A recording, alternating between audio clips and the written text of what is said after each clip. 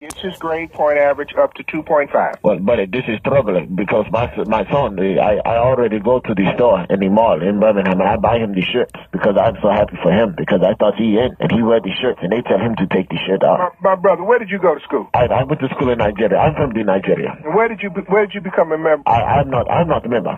I'm not a member. I, I, I've already bought the shirt for him. That's just something that you should not have done until he officially became a member. No, you can buy all of the shirts and hats that you want to. He can't wear any of that. He can wear. I pay. I pay No, for he cannot wear that. I want you to understand something. I want to make this very clear. Only people who can wear any shirts or any hats or any other article of clothing or any other symbols are legitimate members. Anybody else who wears any kind of garment or anything that is not a legitimate member of this organization is violating the law because we have a trademark and a patent. So just because you went out and purchased those items does not give your son the legitimate right to wear that information. If he wears it, he is subject to, to legal action.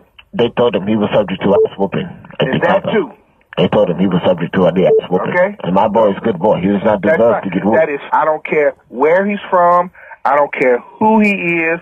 I don't care how good he is. But his father's doctor. I'm doctor. it does not. I don't care what your profession is. Do I make that very clear? Do not talk to me like I'm a child. You are not a member of this organization, No. so and technically you don't have a right to call up here and even question me. Clothing for, for, for group is just for group. So why do you sell to people who not in group? You went out with the purpose of purchasing clothing for your son under the hope that he was going to become a member of this group. Well, that, that is what my boy told me. I don't care if he's got a 2.49. If he wears that shirt, he does it at his own risk.